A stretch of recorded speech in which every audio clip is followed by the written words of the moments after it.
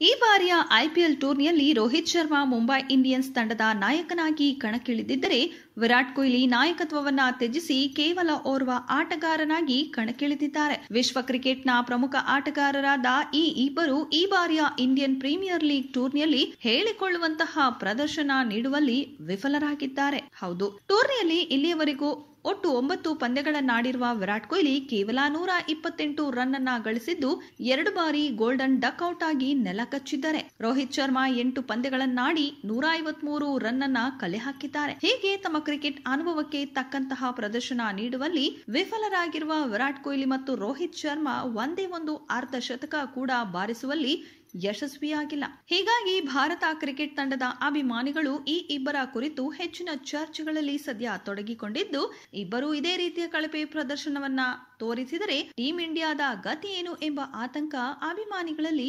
ಶುರುವಾಗಿದೆ. ಇನ್ನು ಇದರ ಬಗ್ಗೆ ಮಾತನಾಡಿರುವ ಗಂಗುಲಿ ಏನ್ ಹೇಳಿದ್ದಾರೆ ಹೇಳ್ತೀವಿ ಕೇಳಿ. ವಿರಾಟ್ ಕೊಹ್ಲಿ ಮತ್ತು ರೋಹಿತ್ ಶರ್ಮಾ ಅವರ ಕಳಪೆ ಪ್ರದರ್ಶನದ ಕುರಿತು ಪ್ರಶ್ನೆ ಎದುರಾದಾಗ ಕೊಹ್ಲಿ ಮತ್ತು ರೋಹಿತ್ ಇಬ್ಬರೂ ಸಹ ಶ್ರೇಷ್ಠ ಆಟಗಾರರು.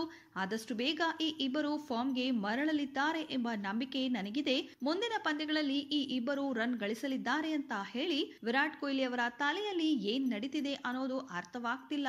ಆದ್ರೆ ಅವರು ಆದಷ್ಟು ಬೇಗ ಲಯ ಕಂಡುಕೊಂಡು ರನ್ಗಳನ್ನ ಗಳಿಸಲಿದ್ದಾರೆ ಅಂತ ಸದ್ಯ ಉತ್ತರಿಸಿದ್ದಾರೆ. ಸ್ನೇಹಿತರೆ, ಇವರಿಬ್ಬರ ಈ ಪ್ರದರ್ಶನಕ್ಕೆ ರಿಟೇಕ್ ಸ್ನೇಹಿತರೆ, ಇವರಿಬ್ಬರ ಈ ಒಂದು ಆಟದ ಪ್ರದರ್ಶನದ ಬಗ್ಗೆ ನಿಮ್ಮ ಅಭಿಪ್ರಾಯ ಏನು? ಕಮೆಂಟ್ ಬಾಕ್ಸ್ನಲ್ಲಿ ಕಮೆಂಟ್ ಮಾಡಿ.